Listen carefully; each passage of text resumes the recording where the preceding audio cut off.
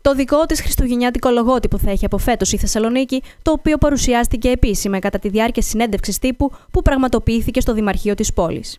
Οι μαγεμένες γιορτές είναι το λογότυπο που επιλέχθηκε και πρόθεση του Δήμου είναι να κυκλοφορήσει παντού και να γίνει το σήμα κατά τεθέν κατά τη φετινή εορταστική περίοδο.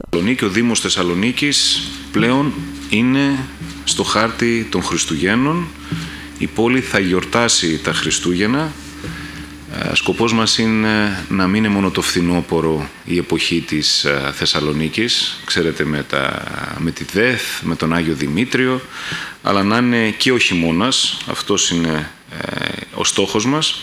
Επιλέξαμε να δουλέψουμε και με τα τέσσερα βασικά γιορτινά χρώματα, δηλαδή με το ζεστό κόκκινο το οποίο κατά βάση συνδέει την έννοια των δώρων του shopping, των αγορών δηλαδή, που είναι ένα σημαντικό κομμάτι των γιορτών και της πόλης και των προσφορών. Ε, το βαθύ μπλε το οποίο εκπροσωπεί τις ε, διάσημες πανέμορφες νύχτες ε, στη γιορτινή Θεσσαλονίκη των Χριστουγέννων. Το πράσινο το οποίο ουσιαστικά είναι το σημείο αναφοράς της ατμόσφαιρας των Χριστουγέννων και βέβαια το χρυσό που αντιπροσωπεύει τη λαμπερή γιορτινή ατμόσφαιρα. Κατά τη διάρκεια της συνέντευξης τύπου παρουσιάστηκαν και οι φετινές εορταστικές εκδηλώσεις. Όπως κάθε χρόνο, η Αριστοτέλους θα βρίσκεται στο επίκεντρο αυτών, καθώς εκεί θα τοποθετηθεί παραδοσιακά ένα μεγάλο φυσικό δέντρο και η Χριστουγεννιάτικη φάτνη. 7 Δεκάτου έχουμε τη χαρά να έχουμε στο Δήμο Θεσσαλονίκης δύο πολύ αγαπητά και εξαιρετικά μουσικά σχήματα τη Φιλαρμονική Ορχήστρα του Δήμου και τη Συμφωνική Ορχήστρα του Δήμου. Με αυτά τα δύο σχήματα θα ξεκινήσουν οι γιορτές.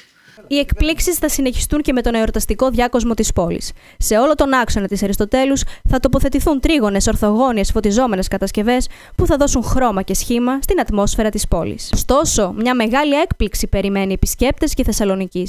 Για πρώτη φορά φέτος, το παραδοσιακό Χριστουγεννιάτικο χωριό θα στηθεί στην πλατεία δικαστηρίων, στην περιοχή δηλαδή της αρχαίας Ρωμαϊκής Αγοράς, πάνω από το άγαλμα του Βενιζέλου. Μια υποβαθμισμένη περιοχή που συχνά τις βραδινές ώρες γίνεται τόπο συμπλοκής συμμοριών. Είναι ένα στίχημα όχι μόνο να γιορτάσει και να πάνε καλά οι Χριστουγεννιάτικες μέρες, αλλά κυρίως εκείνη την περιοχή να την κερδίσει πάλι η πόλη ε, πίσω. Παράλληλα, έχουν προγραμματιστεί καλλιτεχνικά δρόμενα για όλες τις ηλικίες, ενώ το παρόν θα δώσουν και φέτος σημαντικοί καλλιτέχνες όπως ο Διονύσης Σαββόπουλος, η Άλκη τη Πρωτοψάλτη και η Ελένη Φουρέιρα. Το άναμα του Χριστουγεννιάτικου δέντρου θα γίνει στις 7 Δεκεμβρίου.